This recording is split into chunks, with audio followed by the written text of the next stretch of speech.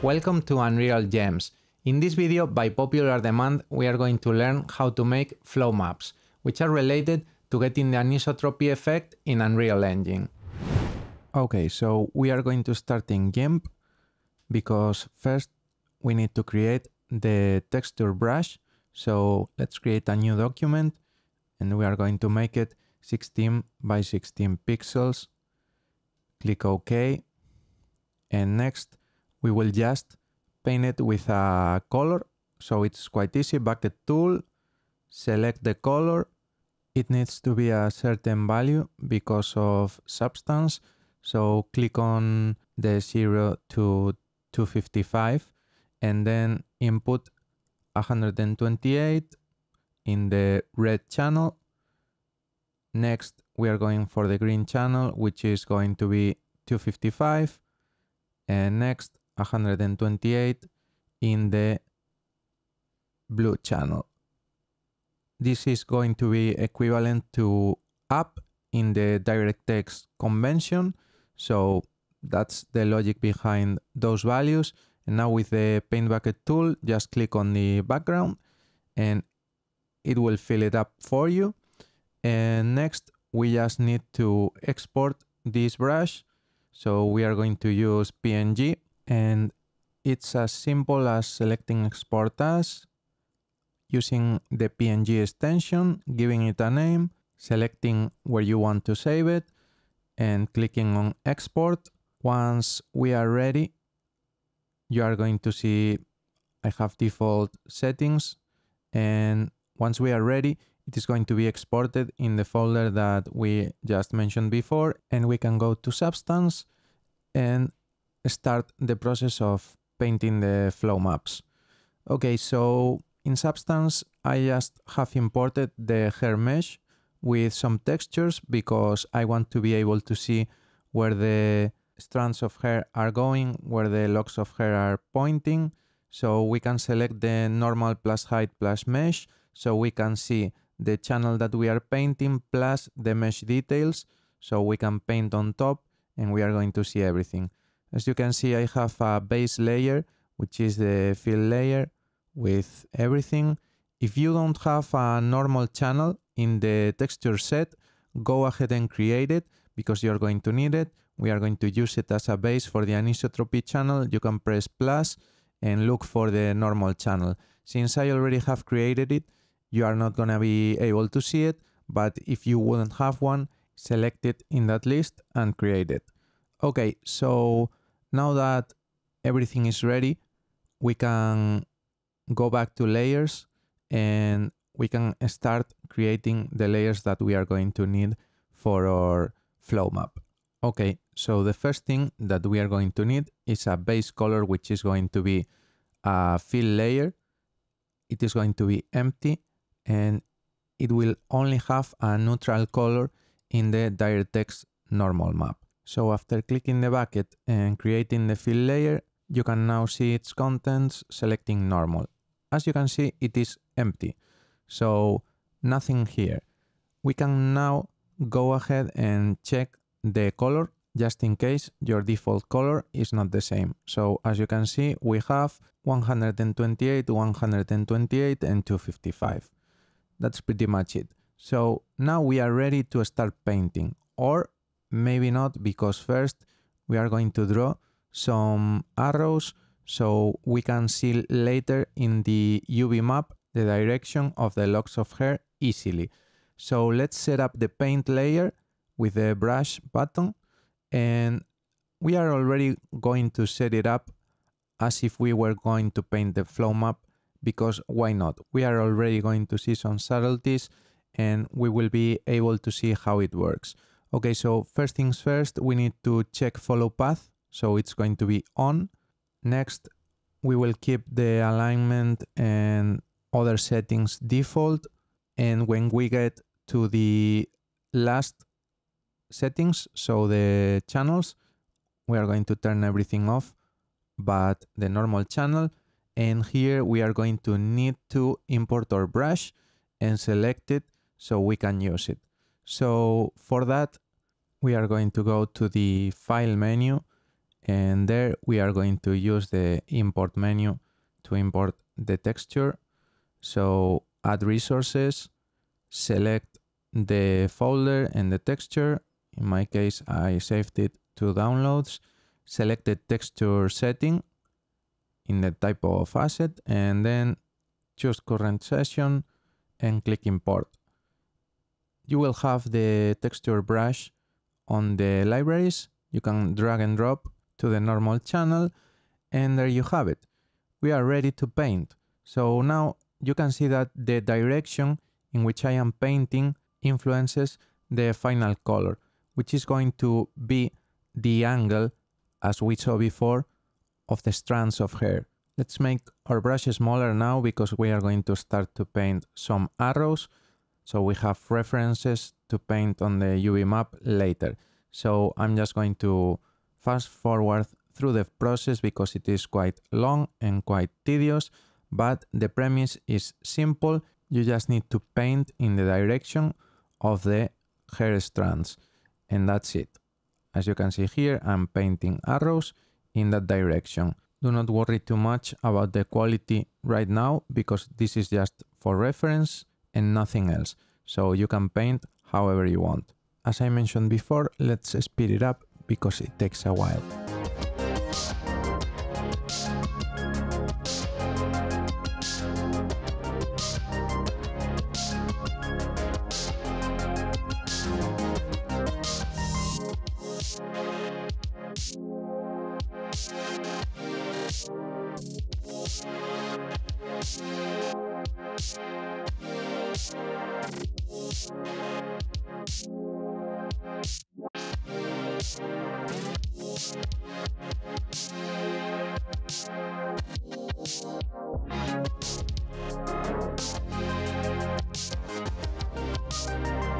Okay, so now we are going to rename the layers because we already have a couple and if not, we won't know what is what. So let's name base layer as the base layer, so the neutral color layer, and the arrow layer as arrow layer.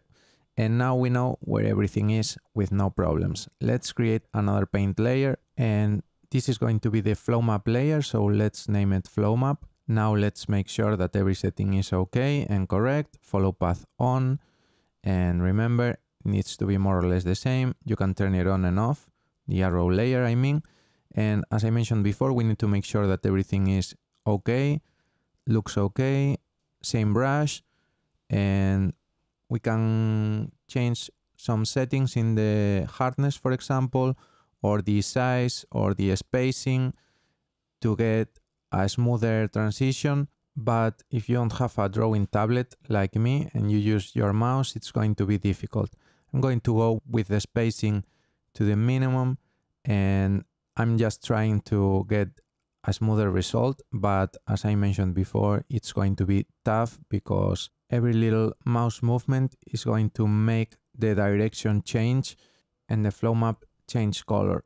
I prefer painting on the UVs, that is why I drew the arrows, because now you can easily see what is what in the UV map. So as you can see, if you get closer, you do not know the real direction, but with the arrows, it's real easy.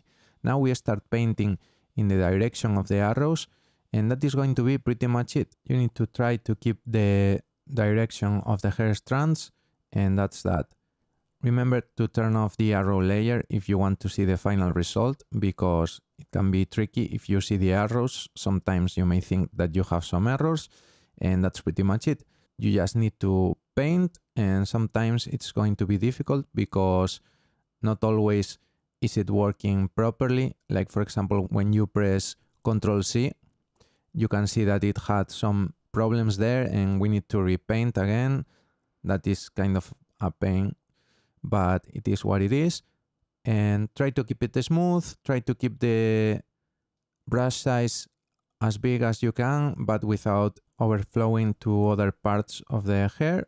In terms of uh, painting, I cannot tell you much more because I am a programmer. So, I mean, art is not my forte. So, I'm just doing my best, as you can see.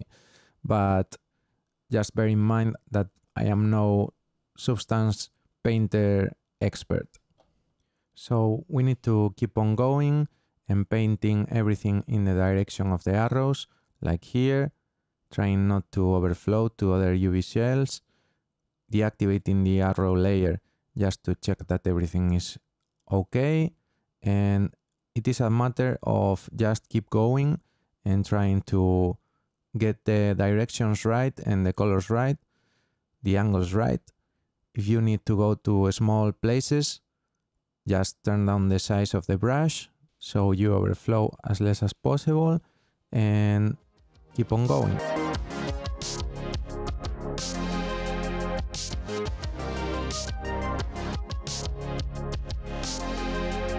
You can also, if you prefer it, paint on the mesh instead of the UV map, but in my opinion, you can be more precise in the UV map instead of the mesh, but it's a matter of taste.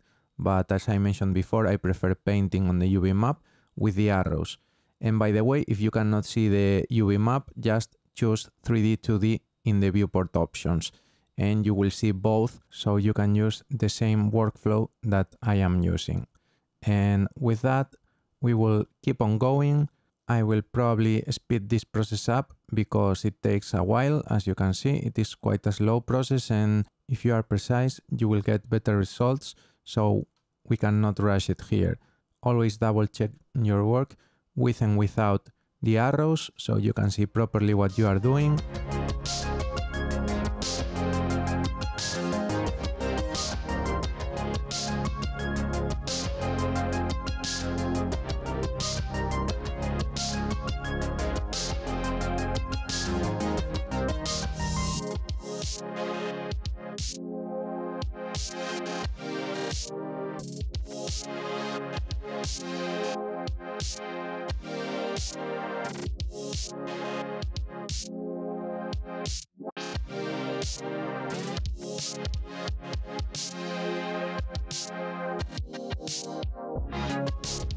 Okay, so this is the almost final result.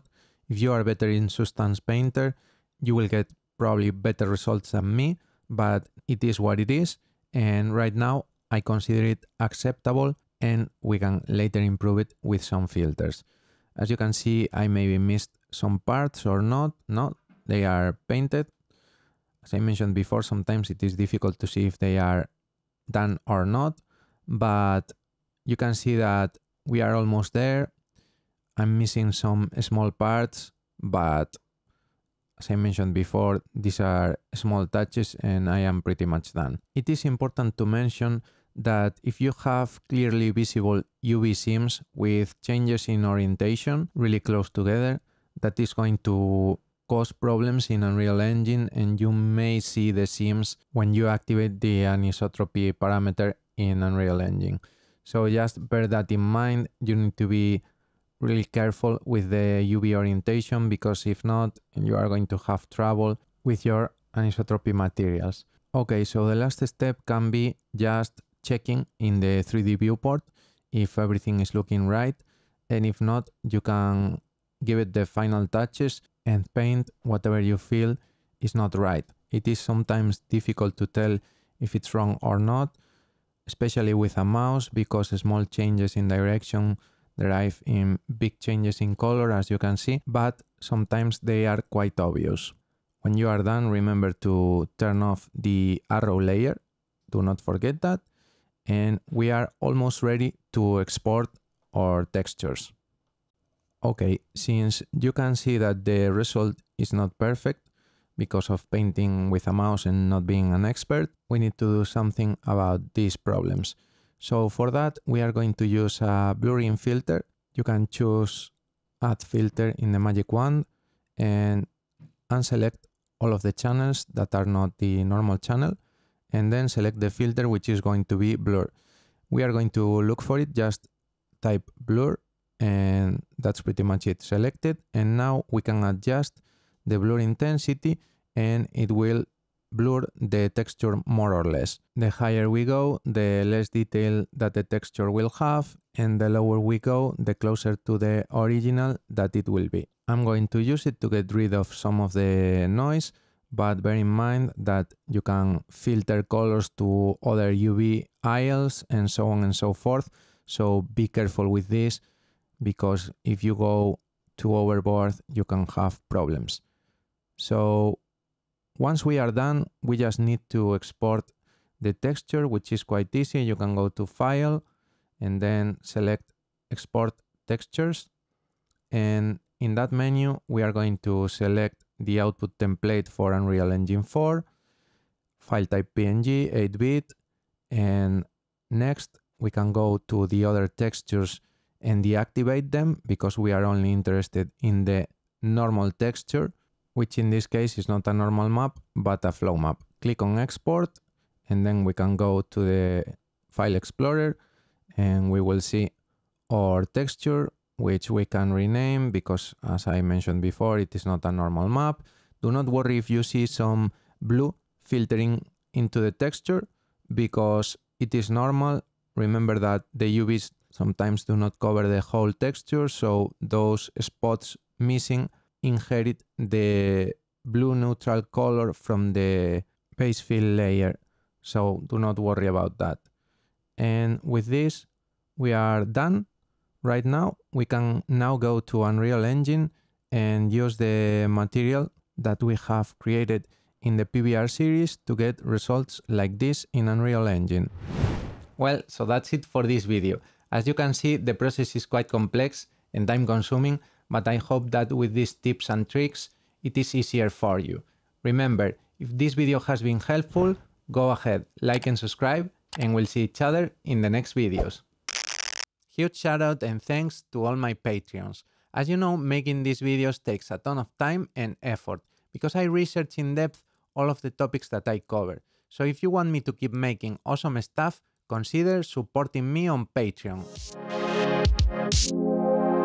We'll